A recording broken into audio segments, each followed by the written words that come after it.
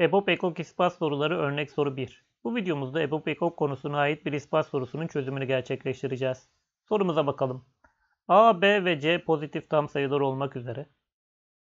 A çarpı B, A çarpı C'nin EBOB'u eşittir. A çarpı B ile C'nin EBOB'u. Eşitliğinin doğruluğunu ispatlayınız. Şimdi öncelikle bize bir EBOB verildiğinde bundan ne anlamalıyız? Onunla ilgili bir ifade yazalım kenara. EBOB XY diyelim hadi farklı harf kullanalım. Eşittir.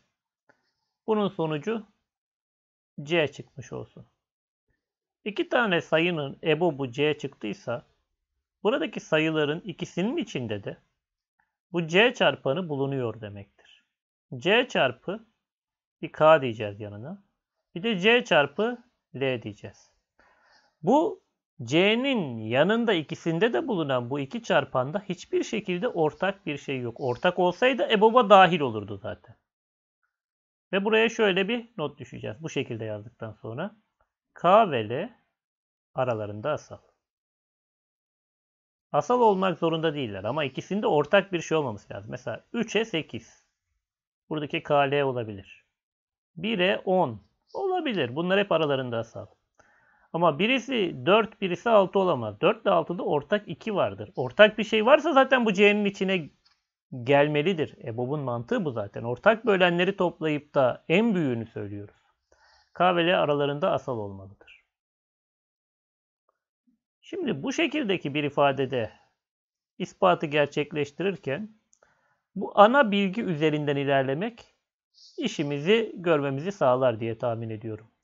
Şimdi öncelikle şunla değil de şunla bir başlayalım. Bunun içindeki B ve C'nin şunun EBOB'unu bir şekilde tanımlayalım. EBOB BC ne olsun sallayalım kafamızdan. X olsun. Biz karar verdik buna. Bunun sonucunda dolayısıyla B o zaman x çarpı k'dır. C de x çarpı k'dır. İkisinin içinde de x çarpanı bulunuyordur. K değil de buraya L diyecektim. İkisinin içinde de KK bulunsa zaten EBOB x çarpı K olur. Buraya L diyeceğiz.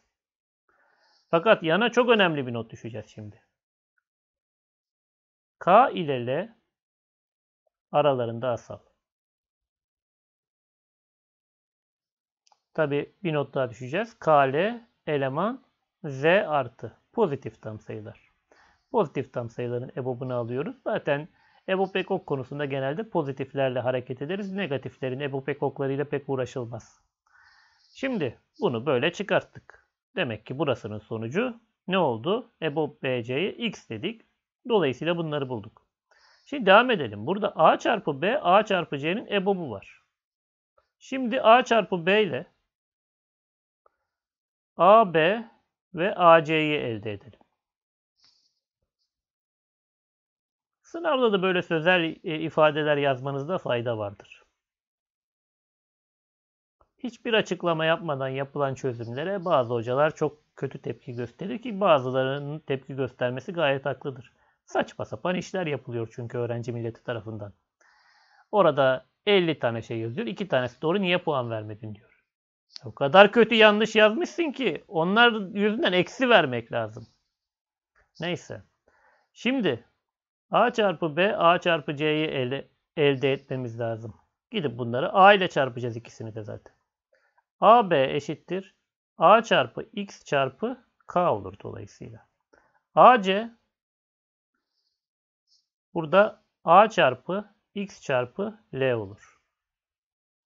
Şimdi Bunları bu şekilde elde etmiş olduk. Dolayısıyla bunları ne bu bu? Dolayısıyla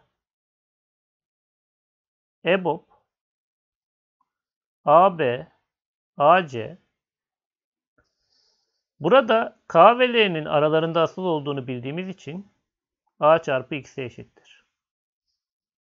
A çarpı X olur. Çünkü buraya bir açıklamada yazmakta fayda vardır. K ile aralarında asaldır. Yani onlarda ortak olmadığını bilmiyoruz. E iki tane şeyin çarpımı birbirinin aynısıysa zaten onlar somut olarak bizim bu AB AC'yi bölen iki sayıdır ve en büyük sayılardır. Bu şekilde bunu da bulduk. Sonuçta bu elde ettiğimiz ifadeleri götürüp koyarsak. Burayı biz ne bulmuş olduk? Hadi yazalım onları tekrardan. EBOB AB AC eşittir A çarpı EBOB BC. Yerlerine yerleştirelim şimdi bulduklarımızı.